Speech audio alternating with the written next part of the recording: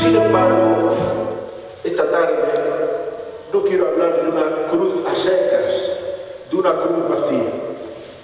Deseo hablaros de ella invitándoos, invitándoos a hacer varias reflexiones. Haré lo posible porque sea lo más breve, lo más breve que pueda. Pero yo sé que estamos con buena disposición todos, hemos venido a esto y creo que les va a interesar hacerlas conmigo. Primera reflexión. Las cruces que debemos destruir. Hay cruces que debemos destruir. ¿Cuántas cruces vacías y injustamente elaboradas a través de la historia? cuántos crucificados en vano antes y después de Cristo, cuántas personas soportando innecesariamente una cruz. No a tantas cruces de exterminio y desolación.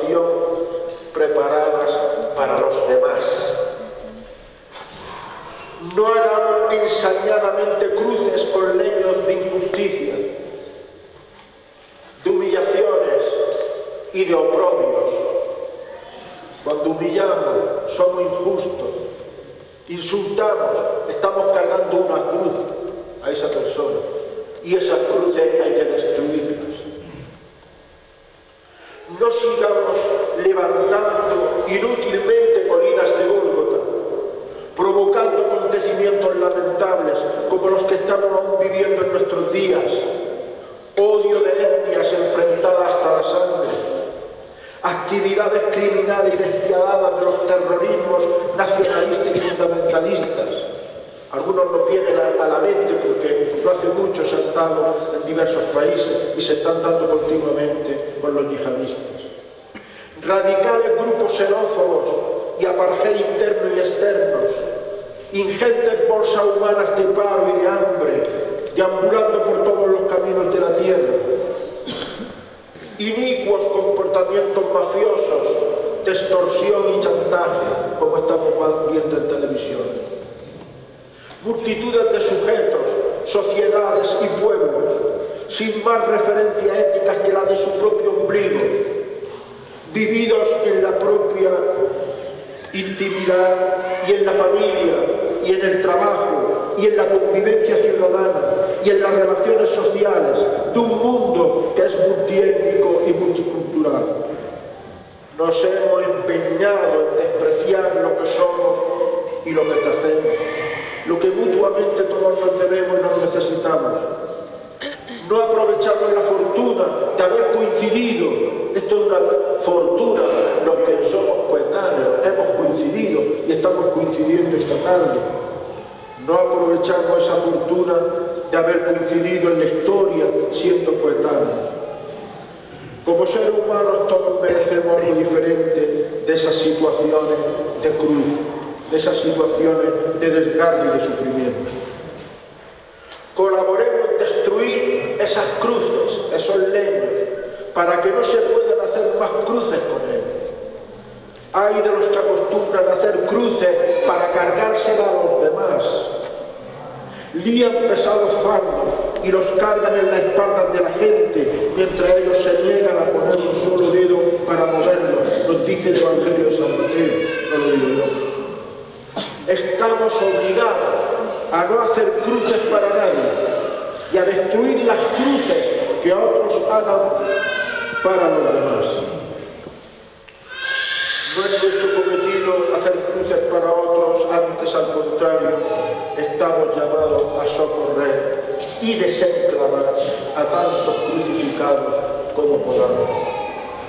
Termino esa reflexión. Luego, no hay cruces que hay que destruir. Segunda reflexión. Hay cruces que tendremos que cargar.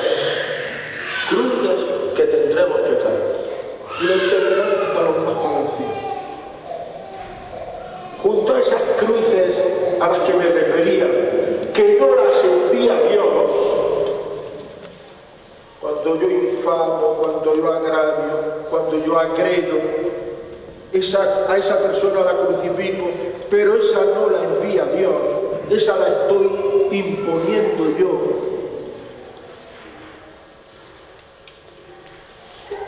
Somos nosotros quienes la creamos, como decía, y que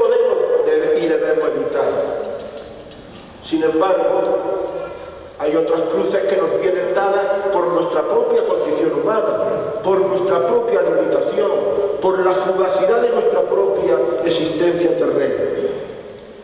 Por ejemplo, los contratiempos, las contrariedades, las agresiones, los daños, los apuros, las dificultades más o menos dolorosas que vamos atravesando durante la vida son por una parte madera con la que se está fabricando nuestra cruz, astillas de nuestra cruz y por otra parte nos entrenan en el talante cristiano con el que nos vamos a abrazar a ella.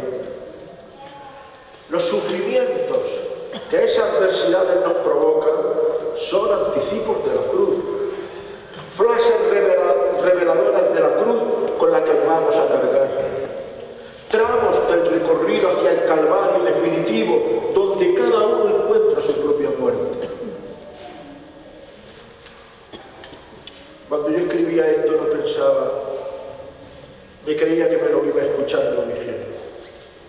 Porque cuando las adversidades y los contratiempos tienen salida, cuando hay solución para las adversidades, no son todavía cruces, son esquirlas, astillas de la propia cruz.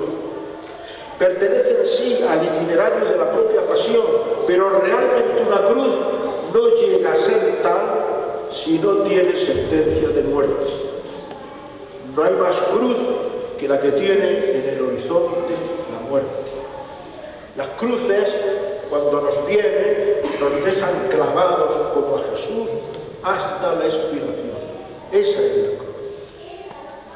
Es verdad, y alegrémonos, no nos pongamos tristes, ya diré otras cosas, que la inteligencia humana va siendo cada día más capaz de hacer añicos cruces que antes eran inevitables, enfermedades que antes eran sentencias de muerte, hoy se han convertido en enfermedades que se conllevan y se superan.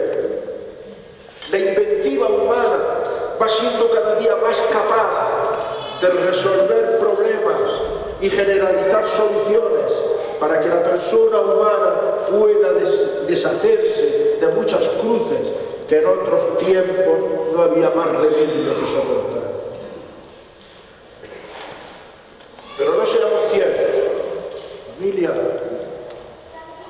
no seamos ciegos hay cruces que vamos a tener que cargar. Hay cruces que por nuestra condición humana seguiremos llevando. Más aún, cada uno de nosotros, antes o después, se verá, por muy jóvenes que seamos, antes o después, algunos ya con la edad que tenemos antes, nos veremos clavados en la cruz por tres aceros sangrantes, como son la agresión, el sufrimiento y la muerte.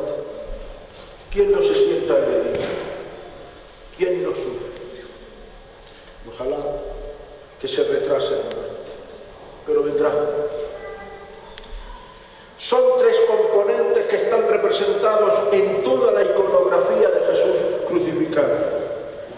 simbolizados, si se quiere, en los clavos, la lanzada y la corona de espinas. No habrá ciencia humana, a pesar de los avances científicos, tecnológicos y de confort, que nos libere al menos de esos tres lacerantes amores. Podrán sedarnos, adormecernos, insensibilizarnos, pero nadie podrá desenclavarnos de esos tres ganchos. Cualquiera de nosotros, cualquiera de nosotros, ya los tiene al acecho en ese calvario que como a Jesús nos espera. Lo único que ignoramos es el día de la sentencia. Pero ¿qué persona humana puede afirmar que ella aún no está sentenciada? O que no ha empezado a sentir el machetazo de algunos de esos trayectos. Estamos en esta vida y hasta el final de ella debiéramos apostar ilusionadamente por ella. Ver a la muerte no es arredrarse ante ella. Hay que ilusionarse por la vida que todavía Dios nos concede. Estar abocado a la muerte no quiere decir que no estemos obligados a trabajar por la vida. Hay que trabajar por la vida. Más aún, lo decía don Miguel también al principio, por la definitiva vida. Hay que trabajar por la vida que nos corre ahora en la por el cuerpo, pero hay que trabajar por la definitiva vida No seamos inconscientes. Sabemos que estamos sentenciados y sobre todo cuando nos consta con certeza que hemos cruzado el ecuador de la vida, como yo, a mi edad, con toda seguridad yo he cruzado el ecuador de la vida, no los más jovencillos, pero una persona que ya pasa los 50 años, con toda seguridad que ha cruzado el ecuador de la vida. Entonces, en esos momentos, aun sin dejar de faenar, lo importante es poner rumbo hacia lo definitivo. Y en ese horizonte de cruces o de hierros que nos crucifican, también cada uno de nosotros tiene su Gesemaní particular, pidiéndole al Padre, líbranos Señor Dios nuestro. Es humano pedir que nos libere de la cruz o de determinadas cruces. La Iglesia pone en nuestro devocionario toda una letanía de peligros, de riesgos y de adversidades, de las que decimos una vez expuesta cada una, líbranos, Domine, líbranos, Señor. Es humano pedirle a Dios que cualquier trago amargo sea pasajero. Si es posible, pase de mí este cáliz, decía Jesús en el huerto de los olivos. Tan humano es que el mismo Jesús cuando ya se ve crucificado y advierte que es el trance definitivo, tiene para su Padre unas palabras de lamento. Dios mío, Dios mío, ¿por qué me has abandonado? El propio Jesús lo dice. ¿Cómo nosotros no nos vamos a lamentar también que somos tan humanos?